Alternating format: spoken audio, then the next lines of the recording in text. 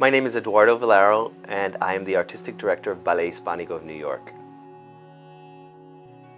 I was an immigrant. I came here with my family in 1969 from Cuba. I grew up in the South Bronx, um, and it was in eighth grade that I fell in love with dance. I did a performance of You're a Good Man, Charlie Brown, and I was supposed to uh, dance with a, a blanket in, in the musical, and uh, I was told I had to create it myself and do it, and I did, and I was hooked from then. Um, I was trained at the Ailey School and at the Martha Graham School. Um, I went to Adelphi University and did a Bachelor's of Fine Arts. Worked with some wonderful people from Ballet Russe and also from um, the modern side. Um, Norman Walker uh, was the, the chair there. I left and immediately joined Ballet Hispanico, danced for almost 10 years here. I did a lot of amazing work, toured, learned, learned the craft. I left to pursue a master's program in Chicago, and before I finished the, that program, I developed a dance company there called Luna Negra Dance Theater. Um, and spent 10 years developing that organization, which is still alive and vibrant and um, doing really well, um, still connected to it in a lot of ways and um, I left it to join Ballet Hispanico.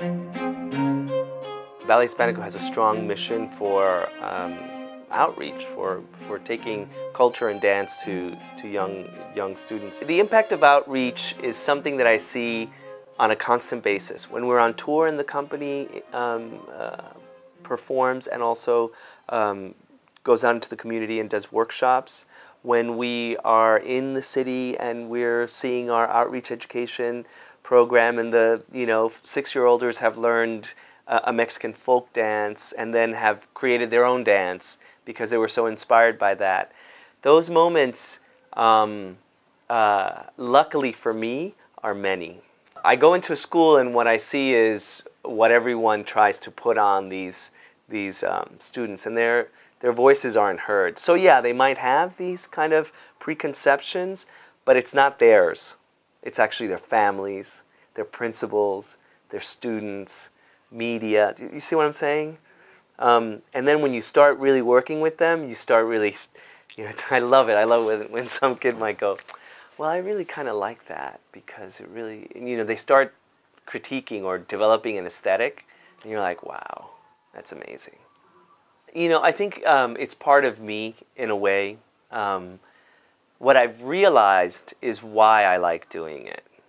And I like doing it because um, I was a kid who didn't speak English, who came to this country, and I wanted to be part. I wanted to be part of the conversation. I wanted to have friends. I wanted to join. And I think that, you know, it's, it's kind of like a, almost a, a syndrome of, of, of immigration that you try to fit in.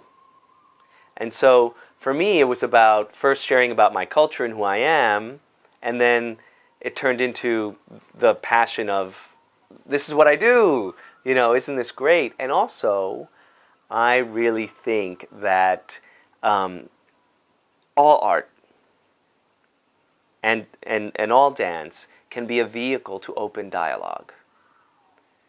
And all it needs is just a the the, pla the platform, which is the stage, and if you get people in there and and give them the right kind of structure in order for them to then have the dialogue, um, then I think I, I think it, it will it, it will start. I don't I don't know if it will cure all um, racial problems. I, I, I know that's not going to happen, but at least it, you start talking. We don't talk about those things. It's a mixture. It's, um, it's about revering the past, and so we'll do works that from, from the past repertory, you know, I'll kind of zhuzh it up a little bit, um, change costuming, try to bring a different kind of context to it, um, whether it, it is costume or lighting, but that um, is relative to today. Um, but the new work is really looking at um, uh, culture in the Hispanic and Latino diaspora and what, what it means uh, not only to be Latino or, or what is it about our culture that, that, that um, is, uh, separates us or connects us. works like uh, like Moray Gutierrez, um, Puntos Suspensivos, you know, she's still in the mix of, she's been only in this country for five, six years. There's still this tug about, you know, I grew up at home, home is over there, what does that mean? Um, why, why do I need to, to, to keep referring to it? How, how am I changed from it? What does, you know, there, there's an interesting moment, and, I, and it happens to everyone who, who leaves even a neighborhood. You know, you, you have you have built this um, almost cosmos there, and you leave and you become something else. And when you come back, everybody's kind of like, oh, yeah, you're not that much Cuban anymore. And it hurts. But then it's true. So there's, there's always there, there's so, so much paradox in, in culture um, that to uh, align it with a stereotype always is just disastrous. So if you think that Latinos go around, you know, waving their, their, their beautiful white skirts, you know, or, you know, eating a certain kind of food all the time, it, we, we're, we're fooled. And if that is what encompasses culture, then we'll, we'll, we're never going to get along, any of us. Because then we're not open to the exploration of, uh, of personal self. That's such a great question. Why is it important to fight for dance?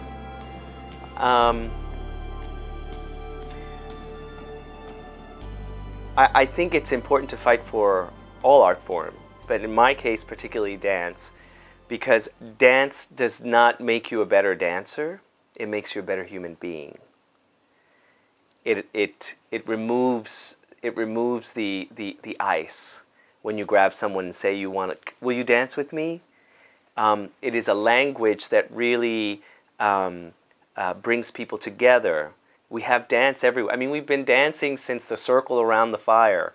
Um, it, it, it bonds us um, and it allows us to um, be free from the, the, the structures of vocal language. I mean, we have, all of us have gestural material in us uh, some that are very similar, um, some that aren't. And so, you know, but for some reason, it's tangible for the, the, the, our, our kinesthetic selves to understand gesture much quicker than it is language, I feel. I mean, if you're on the train and someone is speaking another language, but they, you know, do something, it, your, your body reacts immediately. It's an amazing thing I, I see all the time, particularly in the subways uh, with all the tourists. But, but that's why. And then to, to, to further explain the, that it makes us a, human, a better human being, because it allows us just to um, not have the barriers of social construct. It's very freeing. And so any art form, we're, we're learning about points of view we're learning about the way people see themselves, the, their world around us. They're, you know, each artist opens a, uh, an incredible passage to, to seeing the world. And so if you collect them by going to the arts, by experiencing the arts, there's no way you cannot be a better human being.